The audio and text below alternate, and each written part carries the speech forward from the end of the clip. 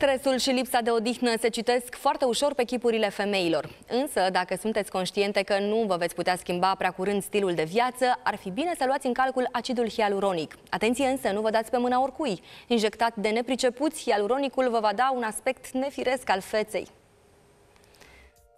Datorită proprietăților sale benefice, acidul hialuronic a devenit una dintre cele mai utilizate substanțe în industria de cosmetică și preferatul tuturor vedetelor. Întotdeauna femeile își doresc un plus de senzualitate sau o accentuare a trăsăturilor naturale. Acidul hialuronic este o substanță pe care noi o avem încă de la naștere în corpul nostru, într-o cantitate destul de mare.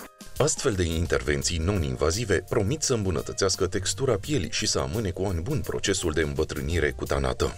Hidratează, reține apa și atunci hidratează, pielea devine mai elastică, își recapătă suplețea și fermitatea.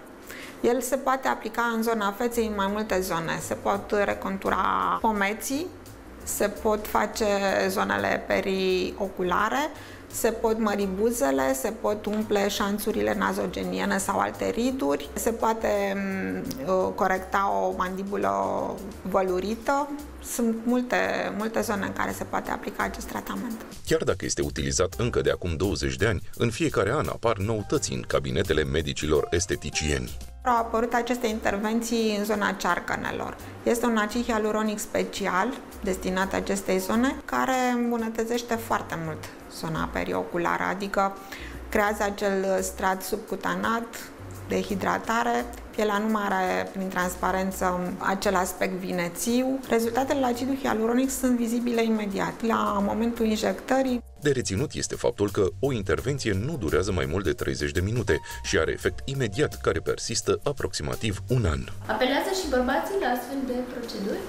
Sigur că da, sunt foarte mulți pacienți bărbați care apelează la injectarea cu acid hialuronic pentru a-și umple ridurile. Printre vedetele care iubesc astfel de tratamente se numără Madonna, Jennifer Lopez, Megan Fox și, bineînțeles, Kim Kardashian.